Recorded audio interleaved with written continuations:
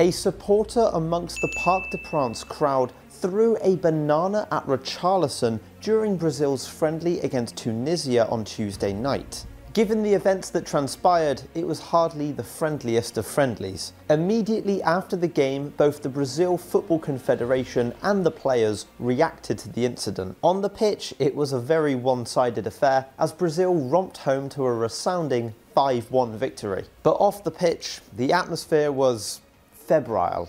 Neymar and co were booed and whistled during their brief warm up, and those audible objections continued during the national anthem. Many of the Brazilians, including Marquinhos for example, were left bemused and frustrated by the unsavoury reaction of the crowd. But their dismay would be compounded by two serious events during the game. Firstly, as Richarlison wheeled away in celebration after scoring in the 19th minute, a banana was hurled in his direction. The Brazilian Confederation immediately condemned the incident that they believed was racially fueled. Richarlison, the target of the banana attack, also shared his thoughts on the shameful people.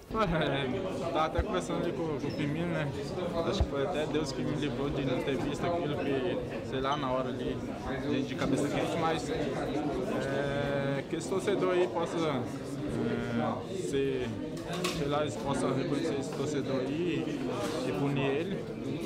É, é, difícil, né? A gente viu o caso do Vinícius Júnior aí recentemente e agora acontece isso dentro do, de, um, de, um, estádio. Então acho que esse cara aí possa, possa achar ele, possa ser punido, para que também que possa servir de, de lição também para as outras pessoas a não fazerem isso. The occasion was marred by a string of unsavoury incidents, many plastic bottles and plastic cups being thrown, and lighters also being launched every time Neymar was preparing to take a corner. Flares were let off and the excitement crescendoed after Talbi equalised for the Tunisians in the 18th minute. Optimism was short-lived, however, as the Brazilians soon took control again of the encounter. According to RMC Sport, onlookers witnessed fights breaking out amongst supporters in the dying minutes of the game. Lasers emanating from the Tunisian supporters were also visible throughout and were particularly prevalent when Neymar stepped up to take his penalty for the Seleção.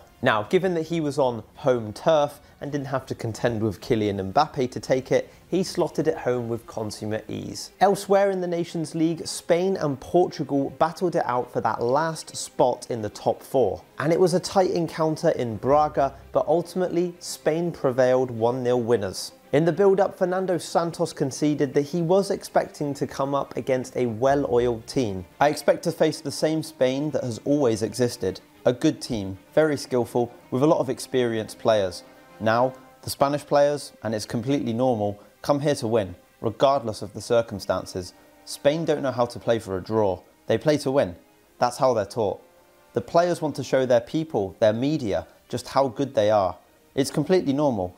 If we say they're hurt, we hope they'll stay hurt. Now, truth be told, it wasn't the most vintage performance from Spain. Portugal, in fact, actually looked like the more dangerous side throughout, but they conceded late on after an onslaught by La Roja. Eventually, it was the much maligned Alvaro Morata who sealed a precious victory for the Spaniards, who in truth had felt that they had relinquished any chance of qualifying after their defeat to Switzerland on Saturday. Spain, who were beaten in the Nations League final by France last year, now have the chance to right those wrongs. So the four teams that will be battling it out for the Nations League title are now known. Croatia, they beat Austria 3-1, so they finished ahead of both Denmark and France. The Netherlands had already booked their place as well after a 1-0 win against Belgium on Sunday. And Italy complete the quartet after beating Hungary 2-0 on Monday. The winners will be crowned during the finals, which is set to take place in the Netherlands next June. So over to you guys now then, Croatia, Spain, Italy and the Netherlands.